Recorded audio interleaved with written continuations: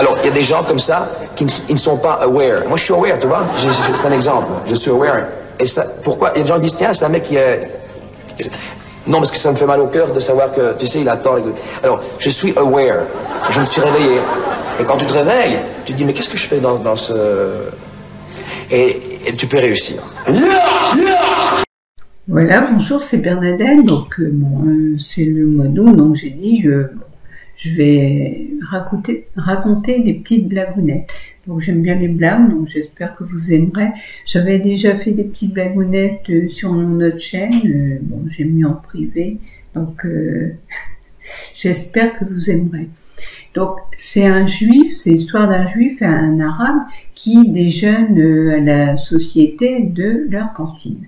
Alors, au dessert, le juif a pris, sa poire, il aligne les pépins sur la table, puis euh, l'arabe il dit pourquoi tu alignes tes pépins euh, sur la table comme ça Alors, euh, le juif il dit bah bouge pas, il dit je vais t'expliquer.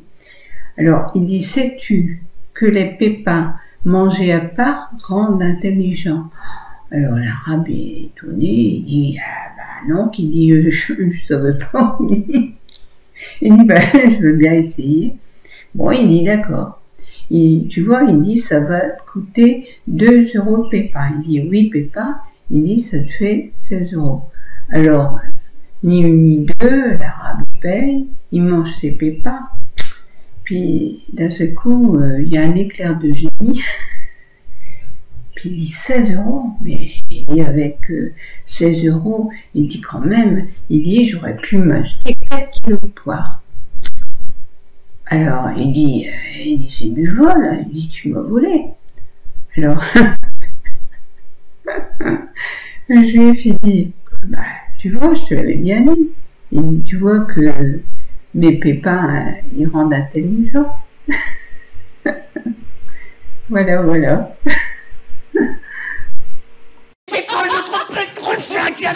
Eh bien Antoine, qu'est-ce que vous pensez de ça? Mais j'achète, voyons, j'achète immédiatement. Vous savez très bien je n'ai jamais douté. Alors, en cas de pépin, toc, bec de biche.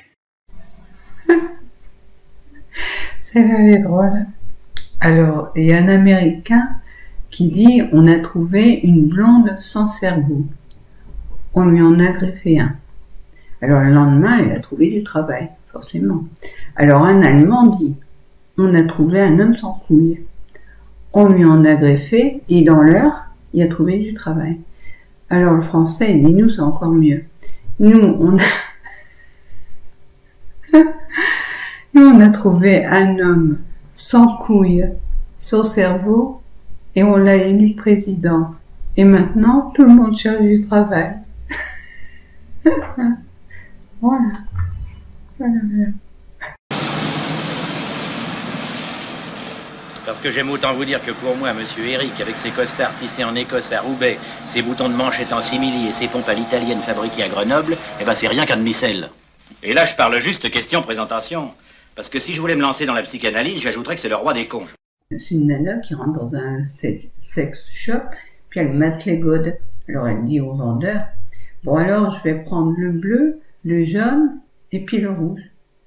Bon, le vendeur il dit, bah, il dit oui, il dit, y a pas de souci. Il dit, pour le bleu jaune, il dit, y a pas de problème.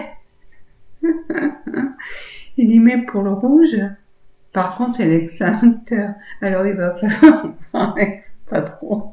voilà, voilà, voilà. La connerie à ce point-là, moi, je dis que ça devient gênant. Alors c'est deux copains qui discutent et, puis il y en a un il dit j'en ai marre, il dit vide ma cuve à mazout. Pourtant la bouche de remplissage est bien cachée sous un masque de fleurs. Alors l'autre il dit moi j'ai résolu le problème, il dit je vais te donner la solution. Il dit j'ai acheté un gros bouchon rouge avec mazout marqué dessus en blanc. T'es fou ils n'ont même plus à chercher. Ouais, mais dit, là, tu dis, je suis pas contre, tu sais. Bah oui, mais il dit, le tuyau, il dit, il est pas, il est pas relié à ma cuve à mazout. Il dit, il est relié à ma fosse septique. Il dit, ça fait trois fois que les combles les vident.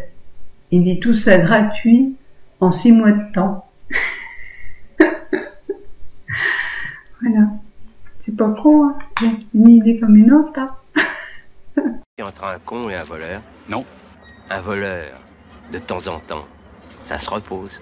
Alors c'est le directeur d'un hôpital et puis il rattrape euh, un patient euh, pieds nus qui court à toute vitesse euh, et puis qui sort de son établissement. Alors là, il dit, mais enfin, monsieur, pourquoi vous êtes-vous enfoui du bloc opératoire? Alors il dit, bah, il dit, j'ai eu un peu peur. Il dit, c'est parce que l'infirmière dit, allons, soyez courageux, ce n'est qu'une appendicite, c'est simple comme opération. Et alors, elle a dit ça pour vous rassurer. Ce n'est pas à moi qu'elle parlait, c'était au chirurgien. Hein, c'est vrai a quoi, même un peu balisé. Hein. Tu pas honte, hein? Lâche. Oh ça comme ça. Hein. Alors, euh, ça se passe dans un village breton, et puis il y a un petit curé de campagne qui décède, donc euh, il arrive euh, devant Saint-Pierre. Donc Saint-Pierre euh, examine tous ses états de service, donc tout a l'air parfait, il n'y fait aucun péché, donc euh, on lui accorde l'entrée au paradis. Donc il rentre au paradis. Alors Saint-Pierre, il lui explique qu'il va disposer d'un petit nuage motorisé pour se déplacer. Alors euh, vers les nuages d'attraction, il y a celui du buffet, de la musique et aussi celui des plaisirs charnels. Alors euh, le curé est content, donc il prend son petit nuage. Donc euh, il se rend rapidement compte qu'il y a d'autres personnes qui sont mieux loties que lui, donc il trouve pas ça normal. Alors que lui, bon bah, il a jamais euh, fait de péché. Alors lui, il a qu'une mobilette et il voit régulièrement un black qui passe. Et puis lui, il y a un nuage euh, très rapide avec des femmes et un orchestre. Alors il dit, je vais aller râler, je vais aller réclamer. Donc il retourne voir Saint-Pierre et lui dit, toute ma vie j'ai résisté aux tentations, j'ai servi Dieu du mieux que j'ai pu. Et j'arrive ici, j'ai pas un sort enviable. Euh, Qu'a fait, par exemple, ce Black pour recevoir beaucoup euh, mieux que moi, un nuage beaucoup plus rapide et mieux équipé. Alors, euh, Saint-Pierre, il lui répond, vous, vous étiez prêtre d'un petit village breton, perdu. Chaque dimanche, il y avait quoi? Dix, fidèles qui priaient dans votre église. Alors il dit, lui, il était pilote à Air Afrique. Chaque jour, il y avait 350 passagers derrière lui qui priaient Dieu au décollage et à l'atterrissage. Comme quoi, on n'est pas toujours bien récompensé. Hein. voilà, voilà. Allez, tu viens, moi, ils me font chier.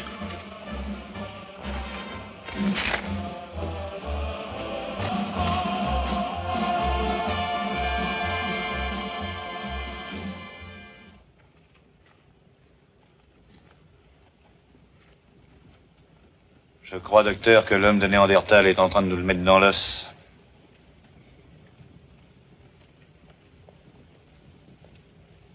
Intellectuels assis vont moins loin qu'une brute qui marche. Alors c'est un jeune homme, euh, un jeune motard qui postule dans un club euh, chez les Baker. Donc euh, le chef lui dit, alors il dit pour être membre, tu comprends, il faut montrer qu'on est un homme, un vrai, un dur à tatouer. Donc il va falloir que tu subisses trois épreuves et que tu les réussisses. Alors il dit la première épreuve, il dit tu vois, tu vas au bar là-bas et euh, bah, tu t'enfiles 20 bières. Il dit, après quand tu auras bu ta bière, il dit, tu vois, il dit, tu, sous le, sous la table, il y a un pitbull. Il y a des œufs, ça lui fait atrocement mal. Il dit, faut que tu enlèves les œufs du pitbull. Puis il dit, tu vois là-bas la, la grand-mère, assise à une table, il dit, faut que tu lui fasses dix fois l'amour. Alors, le jeune, le jeune homme, il veut être biker absolument, euh, donc il est motivé à donf. Alors, il va au bar, il s'enfuit ses 20 bières, puis alors une fois qu'il a bu ses, ses 20 bières, il est complètement bourré, il sait plus où en est, mais bon, euh, il veut être biker. Alors, il plonge sous la table. Alors, on entend des hurlements, des bruits, des cris de douleur. Ça... Et l'affaire dure deux heures. Donc, au bout de deux heures, hein, il sort, il voit le patron, puis il apostrophe, puis il dit maintenant qu'il dit où, où est la vieille que je lui enlève ses œufs Voilà, donc euh, l'histoire, euh, la morale dit pas s'il était biker. Voilà, voilà. Comment Après la tarte à sa bergère, le gars aurait bien continué à jouer les hommes. Mitch a bloqué la première pêche et lui a dit Tu viens de briller, gâche pas tes cartes. Et son mari n'a rien dit Oh, tu sais, quand les types de 130 kilos disent certaines choses, ceux de 60 kilos les écoutent. Voilà une petite euh, blague, une petite dernière.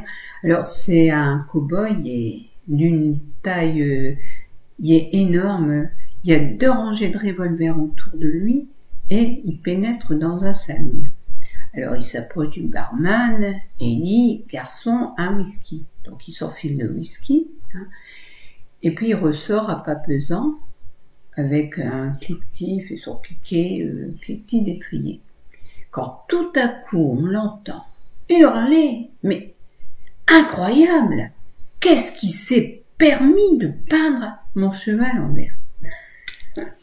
Alors il est furieux, il rentre dans le salon et il s'écrie Qui a peint mon cheval en vert Il n'y a plus personne qui parle dans le salon, il y a un silence de plomb qui s'installe. Et quand un cow-boy arrive, alors il est immense, il est baraqué comme une montagne, large comme deux colosses, il y a quatre rangées de revolvers autour de la taille, puis il s'approche, il dit bah oui, c'est moi. Alors là, tu en viens pas, il me regarde, il dit purée, il dit jamais vu un engin comme ça. Alors il lui répond d'une toute petite voix. C'était pour vous prévenir que si vous voulez passer la deuxième couche, c'est sec. Comme quoi, un courage. Voilà, donc j'espère que vous aurez aimé ma petite euh, série de blagounettes. Hein, je vous souhaite euh, de bonnes vacances, de bonnes fins de vacances, un bel été. Je vous fais de gros gros bisous et je vous dis à bientôt. Allez, au revoir. Dis à monsieur qui je suis Un terrible, un battant. Tu connais pas ta force. Barre-toi pendant que tu te contrôles encore.